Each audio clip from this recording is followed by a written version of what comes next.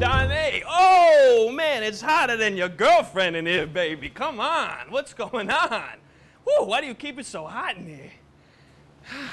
How you doing, G? Ah, how you doing? How you I'm doing, all Donnie?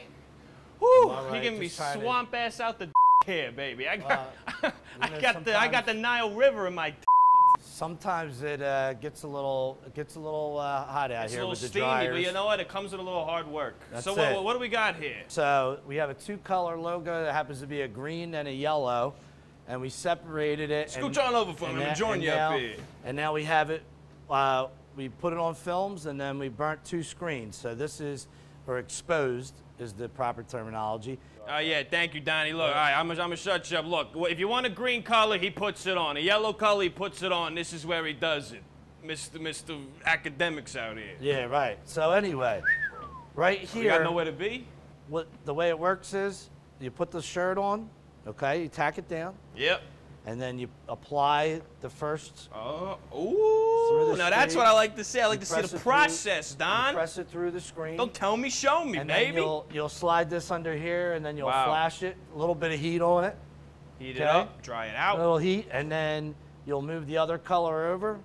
Okay. Two color print. and it's registered, so it falls in the right spot. And then you know I'll do probably about two or three thousand of them.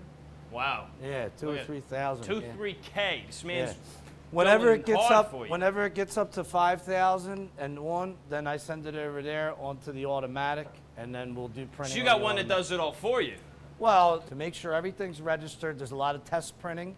There's a station over there where all the controls are, and you got to set each head, however many strokes and all that. Uh, the operator will be taking shirts on and off the machine. These will go on a bigger dryer because this machine will be spitting the shirts out a lot quicker. So, and so, so many words, Yeah. it does it automatically.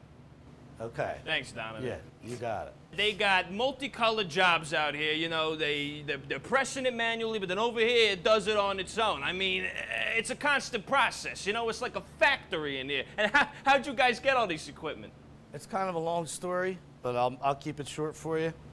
yeah, no, it won't. Mike and I, we started doing novelty shirts way back in college.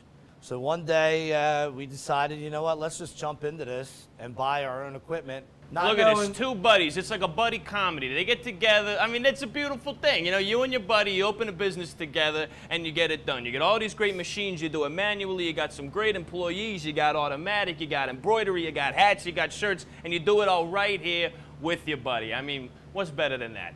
Come on, come on, forget about it.